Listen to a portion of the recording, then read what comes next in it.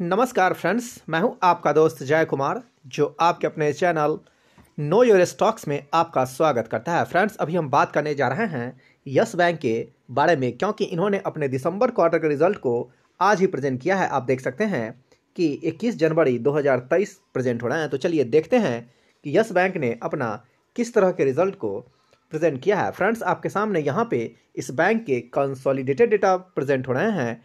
और ये जो फिगर आपके सामने प्रेजेंट हो रहे हैं, ये इन लाख में प्रेजेंट हो रहे हैं, लेकिन इसे हम करोड़ में कन्वर्ट करके आपके सामने प्रेजेंट करेंगे ताकि आपको समझने में आसानी होगी। फ्रेंड्स यस बैंक के द्वारा जो टोटल इनकम पोस्ट किया गया है इंटरेस्ट अर्निंग से और अदर इनकम से, वो सात हज़ार चौंसठ करोड़ आठ लाख का, जबकि पिछले क्वार्टर में इनका जो टोटल इनकम था, वो छः हज़ार चार सौ इक्यावन करोड़ तीस लाख का, जबकि पिछले ईयर दिसंबर क्वार्टर में इनका जो टोटल इनकम था, वो पाँच हज़ार छः सौ चौंसठ करोड़ तैंतीस लाख का। तो फ्रेंड्स, यहाँ पे अगर आप ईयरली वाइज भी कंपेरिजन करेंगे तो यस बैंक का जो रेवेन्यू है, उसमें उछाल देखने को मिला है। और अगर क्वार्टर ऑन क्वार्टर भी देखेंगे तो भी यस बैंक के इनकम में इम्प्रूवमेंट देखने को मिली है। तो चलिए देखते हैं कि यस बैंक के द्वारा टोटल एक्सपेंस कितना पोस्ट किया गया है।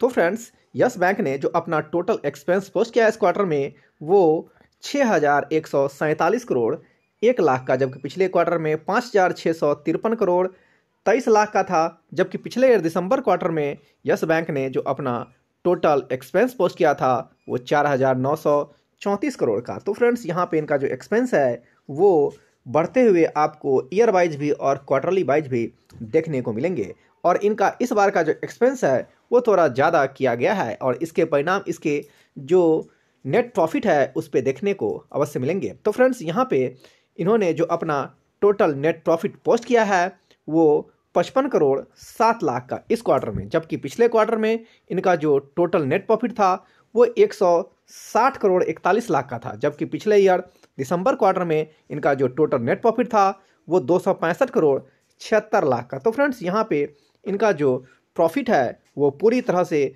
क्वार्टर ऑन क्वार्टर ध्वस्त हो चुका है और ईयर वाइज भी बात करेंगे तो भी इनका जो नेट प्रॉफिट है, इट मीन शुद्ध लाभ है, उसमें बहुत बड़ी गिरावट इस बैंक ने दर्ज की है। तो चलिए देखते हैं कि इनका एनपीए क्या कहता है।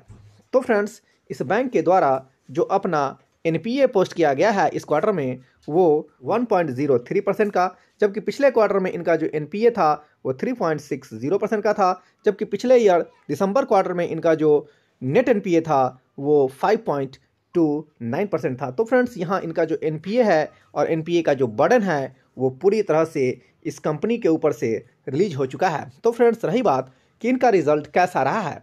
तो फ्रेंड्स हम आपको बताना चाहेंगे कि इनका कुछ ऐसे पॉइंट्स हैं जो बहुत ही स्ट्रॉन्ग देखने को मिले हैं। जैसे कि इनका जो रेवेन्यू है वो शानदार जनरेट होते हुए दिखी है इट मीन्स इनका जो इनकम है, उसमें इम्प्रूवमेंट देखने को मिला है और इनका जो एनपीए है, उसमें बहुत ही शानदार सुधार भी देखने को मिला है। लेकिन यहाँ पे एक बिग पॉइंट भी देखने को मिला है कि इस बैंक के द्वारा जो नेट प्रॉफिट इट में शुद्ध लाभ जो पोस्ट किया गया है, उसमें बहुत बड़ी गिरावट इस बैंक ने दर्ज किया है। तो फ्रेंड्स आज के लिए इतना ही।